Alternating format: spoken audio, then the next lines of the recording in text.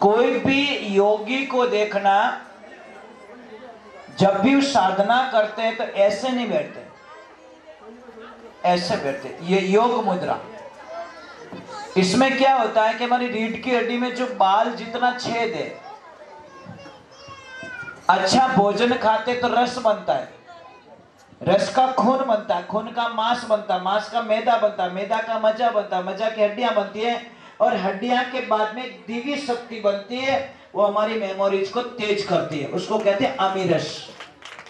और अमीरस माइंड में पहुँचने के लिए बारी उल्टी पेड़ी, जैसे उल्टा चढ़ता ही है।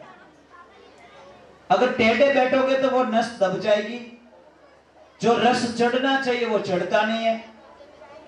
और एक और प्रार्थना है, जब भी आप उपवास करो, भगवान से कुछ धन दौलत मत मांगिए। भगवान को ऐसे बोलिए कि हे प्रभु, मैं किसका अच्छा कर सकूँ? मैं किसकी ज़िंदगी में खुशियाँ ला सकूँ? मेरे परिवार को जो भी मेरे पास में आए प्लस पॉइंट होके जाए, वो खुशी मांगिए भगवान से। क्योंकि देखिए, हमारे पास ज़्यादा उम्र नहीं है। सौ साल की उम्र होती है। उसमें से पचास साल रात में निकल जाते हैं। कितना? आधा नुकसान तो अब पचास साल हमारे को दिन मिलते उसमें भी कंफर्म नहीं है कि हम सौ साल के रहेंगे। ऐसा काम कीजिए बेटा, राधे राधे। ऐसा काम कीजिए कि हम दुनिया से चले जाए तो भी हमारा नाम दुनिया के मुखारबिन पे हमेशा रहे। ऐसा कर्म कीजिए। हम क्या करते हुए का जीवन जीते महाराज। कोई दो बहनें थी, पिताजी ने उनको पढ़ाया, लिखाया, संसार को आगे बढ़ाना चाहती हूँ। तो बड़ी वाली को शादी करवा दी और छोटी वाली को और संत बन गई। दोनों अपनी जगह सही है।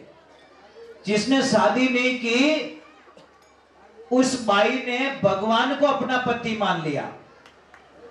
और जिसने शादी की, उसने अपने पति को भगवान मान लिया। समझ में आ रहा है नहीं आ रहा है? नहीं आया। जिसने शादी नहीं की, उसने भगवान को भगवान मान लिया।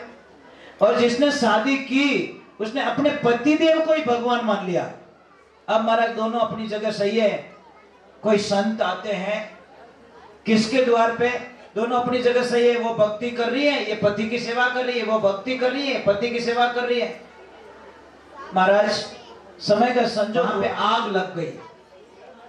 बड़ी बहन को पता चल गया खाना बनाते बनाते कि मेरी बहन मुसीबत में पड़ गई है। नगरी के चारों तरफ़ आग लग गई है कितनी दूर? बारह कोस दूर। आज के टाइम में 36 किलोमीटर दूर। 12 कोस दूर आग लग गई। अब उस आग को बुझाए कौन? पूरा गाँव का पानी खत्म हो चुका है। वो दौड़ के अपने पति के चरणों में जाके पड़ी। ये मेरे पति देव मेरी बहन जल जाएगी और पूरी नगरी राख हो जाएगी। पति देव मैं क्या करूँ? जैसे पति के चरणों को धोकर, पानी का लोटा लेकर दौड़ के बाहर आई और एक ऐसे गोल गोल लिकार करके, उस लिकार पे पानी छाट के, वो बोली, हे प्रभु, ये काम आपने कर दिया। एक कोई संत वहाँ पे खड़े थे? उन्होंने बोला, भाई, क्या किया?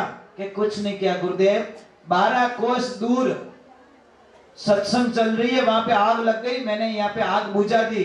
महाराज जी हंसने लगे कि क्यों ऐसे बेकार बात करती है? एक लोटा पानी यहाँ डाला और आग वहाँ बुझ गई कि गुरुदेव, अगर आपको विश्वास नहीं है, आप जाके देख लीजिए।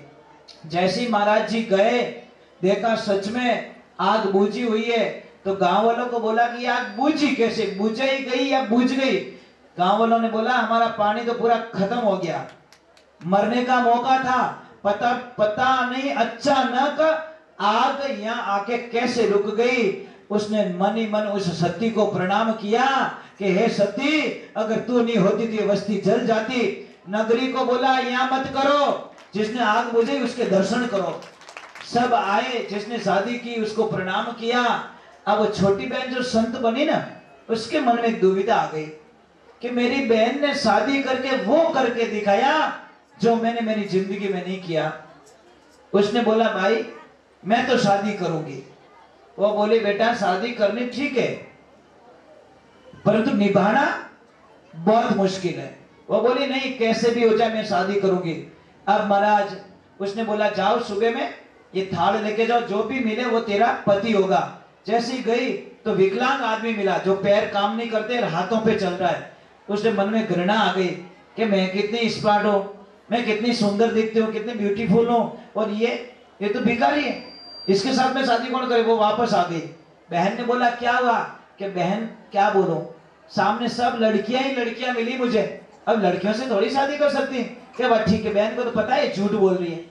सुबह में वापस भेजा कि आज अगर तुमने शादी कर ली तो ठीक है। नहीं तो सात जन्म तक तू लड़की बनेगी और तुझे पति नहीं मिलेगा, पति सुख नहीं मिलेगा। और जैसे ही वो गई वो ही विकलांग वापस मिला। माला पहना दी, पति मान लिया।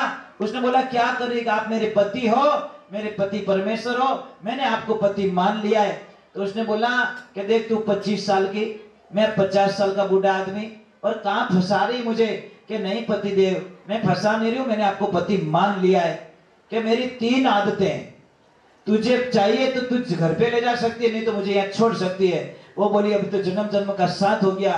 देख, मेरी तीन आदतें दिन भर में भीख माँगता हूँ। शाम को फूल, शराब पी लेता हूँ। और रात में वेश्या के पास में रहता हूँ। ये तीनों चीज़ कबूल हो, तीन बात कबूल हो तो मुझे अपने घर पे ले जाना, नहीं तो मुझे यही छोड़ दे। वो बोली पति देव आपका वचन मेरे सिर पे, आपका वचन कभी खंडित नहीं करूँगी। लेके गई। शाम का टाइम हुआ। बोली, लाओ शराब लेके आओ। गई बेचारी, शराब ला के पति को दे दी। पी ली, फिर बोला, बैठाओ कंधों पे। बैठाया कंधों पे और बोला, उस वेश्या के घर पे छोड़ के आ जा। वो छोड़ के पति देव बोलता है सुबह जल्दी आ जाना। ऐसे करते करते करते बारह वर्ष बीत गए देवियों। पर उस स्त्री ने कभी नहीं बोला कि पति देव मेरे में कमी क्या है? जो आप मुझे छोड़ के पर स्त्री के साथ में रहते हो, कभी नहीं बोला। एक दिन समय का संजोग, पति अंदर चला जाता, प्रसाद आई तो वापस वो घूमती है तो याद आ गया कि मेरे पति देव ने जाना का तो बोला ही नहीं।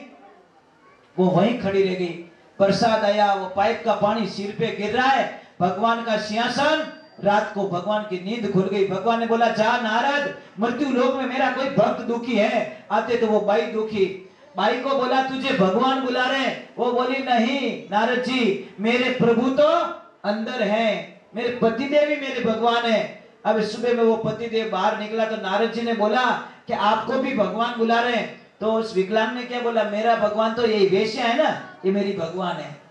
अब वेश्या को बोला, तू भी चल, तेरा भी मौका तिरने का आ चुका है। वेश्या ने बोला, ये नगरी है ना, ये मेरे लिए भगवान है। तो भगवान को बोला, प्रभु, ये तो सारी नगरी को बोल रही है।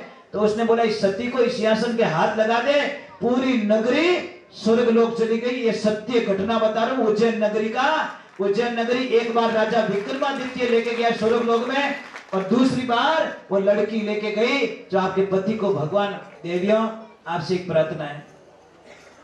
मन, वचन और कर्म। मन से, वचन से और कर्मों से। तीनों रूप में पति को भगवान मानो। मन से भी मानो, वचन से भी मानो और अपने कर्म से भी मानो। वहाँ पानी भरा है। फिर वहाँ जाता है, फिर आगे चमक जाती है। वहाँ पानी भरा, वहाँ पानी भरा, वहाँ पानी भरा और हिरण मर जाता है। हम भी मर जाएँगे। हम किसी खोज में निकले? कल सुख आई अगले महीने सुख आई। बारह महीना दो हज़ार उन्नीस में सुख आई 2020 में सुख आई। है ना?